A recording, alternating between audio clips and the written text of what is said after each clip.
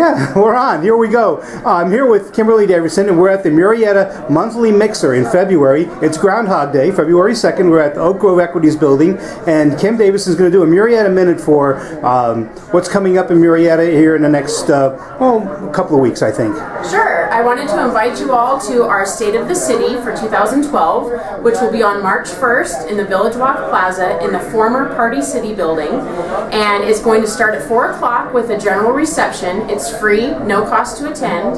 And then at 5.15, the mayor is going to give a presentation on the state of the city in Murrieta. We're going to be focusing on highlighting our technology companies that we have here in Murrieta and some of the technology clubs such as Valley Innovators and a robotics club that Murrieta Valley High School has.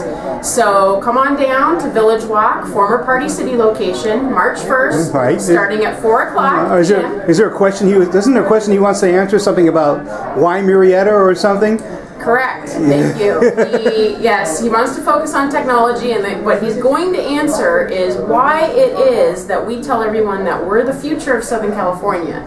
So if you want to come down and find out why we make such bold statements like we're the future of Southern California, show up March 1st, 4 o'clock to about 6.30, and we're going to tell you.